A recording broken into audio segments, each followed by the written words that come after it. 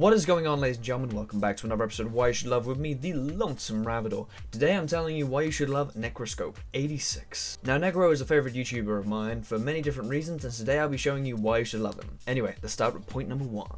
Necro is definitely one of the kind of guys I definitely look forward to when he uploads. He always uploads brand new stuff, well not always brand new stuff, but different stuff which I've never normally heard of or definitely never seen uh, walkthroughs for. So it's always an interesting thing to be subscribed to, as it, he keeps you up to well, even up to date. Sometimes he does know newer games, sometimes it's older games. A lot of the time it's older games, but I mean that's quite cool because it introduces you to something new altogether.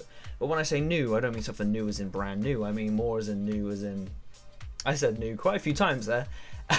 I mean new as in something which we've not heard of before, and it's quite cool and quite nifty. I mean, he played Power Rangers with one of his friends at one point, which is quite cool. I enjoyed that Let's Play quite a lot. But anyway, let's move on to my second point. Necro is definitely one of the funny guys, which I always find very easy to listen to.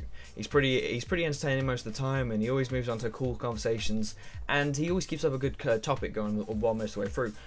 Always, always aiming on the on the game, obviously. Uh, you know, he, he, makes very relatable and funny jokes, in which he makes references to other stuff, and uh, he's always taking the mick out of games if they're quite funny at points. And his voice is definitely very easy to listen to as well, very calm, very soothing, and definitely not anything which you find annoying at all. Very good videos to kick back and relax and watch uh, watch the videos while you're sitting there with a cup of tea or something to eat and just relax. Just watch the videos and just chill. You know, take your time with the videos.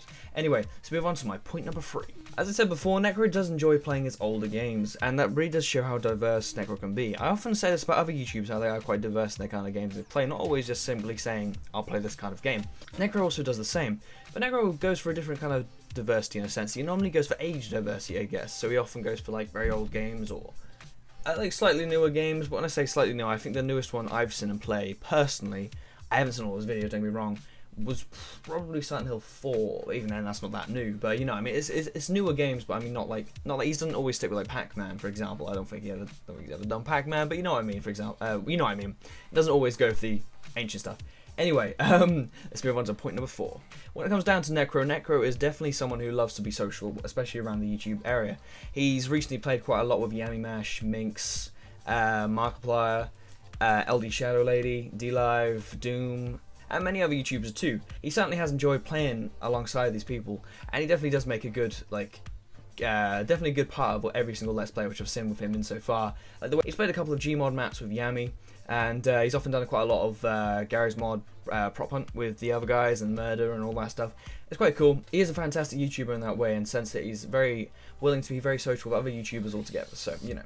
Anyway, let's move on to my fifth and final point. So Necro really is kind of a very natural, kind of very friendly person when it comes down to people. As I said before, very social amongst the issue people, but he's also just actually very when you listen to his uh, videos and stuff like that, and the way he talks about his daughter and um, his family and friends, uh, he really does kind of like it makes you think that he'd make a very good friend altogether and like a very friendly person altogether. And I imagine he is in real life. Obviously, can't say I've ever met him, but still, he's, he does seem like a very, very kind person to ever meet in the future and stuff like that. So you know what I mean. Anyway, that's about it from me, ladies and gentlemen. I've been Lonesome Ravidor, and you guys have been beautiful as per ever. Hope you have enjoyed this Necroscope 86, Why You Should Love. And um, yeah, I hope you guys will enjoy me next week for the next episode of Why You Should Love. Anyway, ladies and gentlemen, once again, I've been Lonesome Ravidor, and once again, you guys have been oh so beautiful, and I will see you in the next one. Thank you very much for watching, ladies and gentlemen. I'll see you in the next one, ladies and gentlemen. Goodbye!